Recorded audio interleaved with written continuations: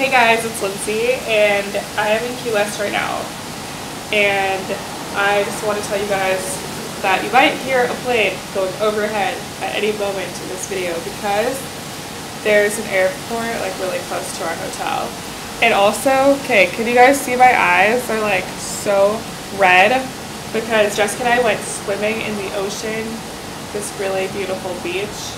So just want to show you guys how red my eyes are. So, okay. And I opened my eyes to the water. I don't know why I did that, but it just happened. And so I'm going to be wearing these throughout the video. So I don't look crazy.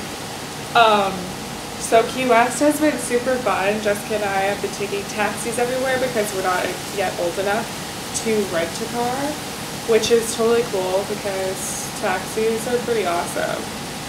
Um, we've made a few friends with some taxi drivers. Some are like really quiet and then some um, talk the entire ride, which is very awesome. It's entertaining and then you learn a lot about the person. We met somebody from Haiti who, who was really cool and very stylish for that, for that matter. Um, so yesterday Jessica and I went to Duval Street, which is like the Bourbon Street of Key West and we got these watches, these silicone watches. Do you see that? Okay, we both wore them swimming today and they're like dead. I don't really know how. I thought I was gonna come back to life. I thought they were waterproof. I guess not. I guess not. Well, whatever. Um, it still glows in the dark and it's cool, so want to know something else that's cool, the view from our hotel. And I, okay, here, check it out. Look, there's the pool. You see it? And then back over there is the ocean, but you can't really tell. There we go, panning, panning back. Um, the ocean is so warm and the sand is white, like it's it's beautiful. It's like being in a postcard. Um, probably the most fun thing that Jessica and I have done here is definitely was definitely going to the state beach today, and we were on Project Get Tan, and I don't know, I think I think I got tan.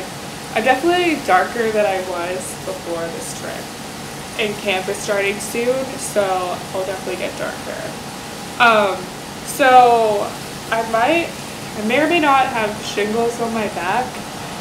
I don't know, it's like really itchy and painful. It's kind of, I've had shingles before. It's like the return of the chicken pox and usually it's for old people. I don't really know why I had, I got it, but the first time I got it, I was like 14 and it was really painful and it attacked like one side of my back, like one side of my back, but now it's like in the middle, really weird, like and wonky, like why they decide to come back during a vacation. I don't really know, but it's okay. That goes on, but it's pretty painful. Um, and itchy. It's just uncomfortable.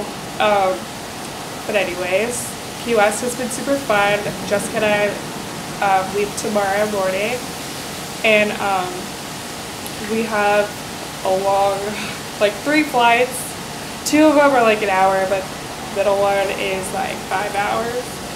And yeah, so hopefully I won't get sandwiched in between like the biggest man on the plane and then this other woman.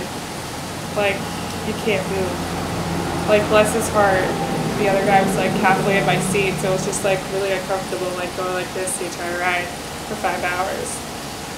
Um, hopefully that won't happen. And during that ride, Jessica and I were separated. I hope we could sit together. Yeah, but what was really cool about that flight was they played Beastly. And that was a really good movie. I liked it a lot. It's like a modern day Beauty and the Beast. Maybe that's why they call it Beastly. I don't know. Um, well, this video is like five minutes. I hope you could hear me and stuff. Um, also, let me know if you guys are taking any summer vacations or whatnot. And yeah, I hope you guys had a good weekend. Y'all know I did. Thank you guys, and bye.